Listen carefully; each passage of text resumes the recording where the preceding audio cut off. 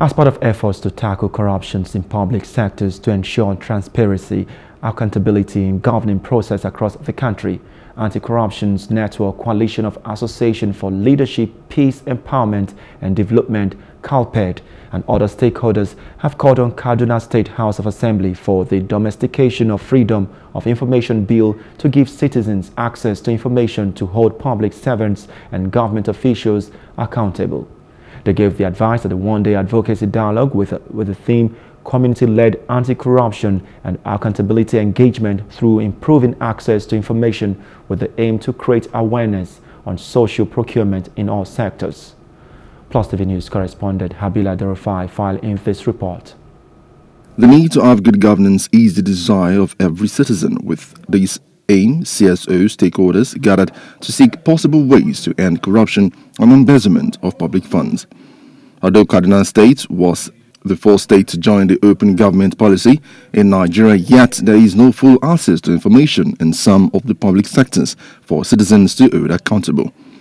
Speaking, the team lead, Good Governance and Anti-Corruption, Good J. Yusuf Ishaku, says poor access to information in public sectors in this tracking government budget and also spending for citizens to know and hold public servants accountable.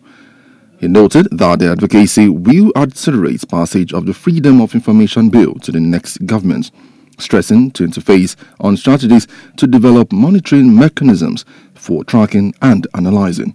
About 70% of all corruption in the public sector happens through the contract process.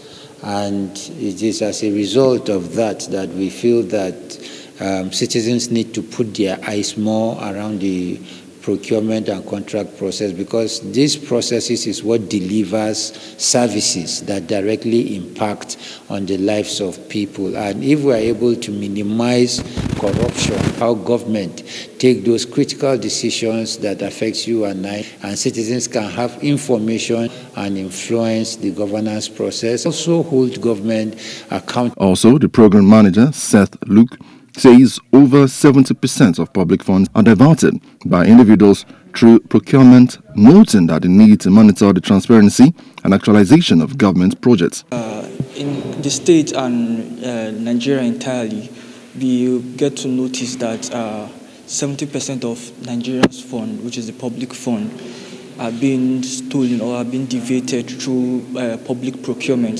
Construction of schools, construction of roads. We tend to look at the areas where we can monitor, where we can track those uh, funds so that there will be accountability, there will be transparency in uh, public funds.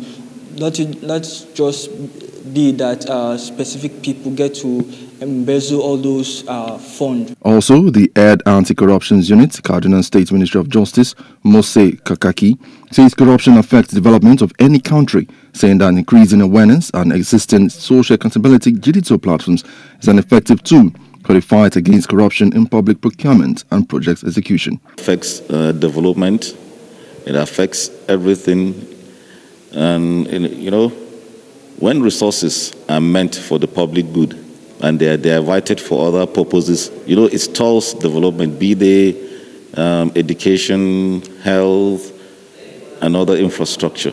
So for us, our focus is let us carry the people along as we can see is being done in this uh, program.